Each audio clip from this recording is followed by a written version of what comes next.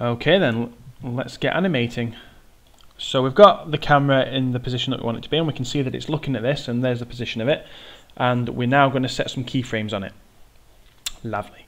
So first things first, make sure you're on frame 1, which we should have done in the last video. So there we are, frame 1, and I want to set a keyframe just on the camera. So make sure you've not got the group selected or the aim, just the camera, and then hit S. Um, I think we'll just change this over to the channel box as well so we can see what we're keyframing. Um, let's move that over there. Okay, so I'm on frame 1, and I've got my camera selected, and I'm pressing S. There it is, my keyframe's gone on. Lovely. That's what I wanted to see.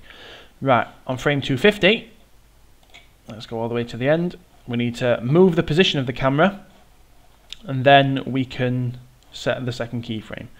So I'm going to move it across the room like that.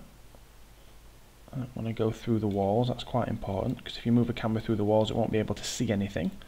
It won't render, so I'm just going to move that over there and I'm going to change the height as well. to something like that. Okay, move it back a little bit. So that will create the basis of my animation. So now that I've repositioned it and I've got the camera selected, I can press S. And then, as if by magic, the animation will happen. Now, at the moment, as I play this, you can see, and this is quite important, that only this view here is showing any animation. That's because that at the moment is the active view. Okay, so to make the view you want to see, which is this one, the active view, we're going to just hit the middle mouse button in there and you can see that the, the colour changed on the outside and then you can scrub through your animation and there we go, that's already starting to look pretty damn sexy and we've not even rendered anything yet. So there we go, that has created an animation for us. Right.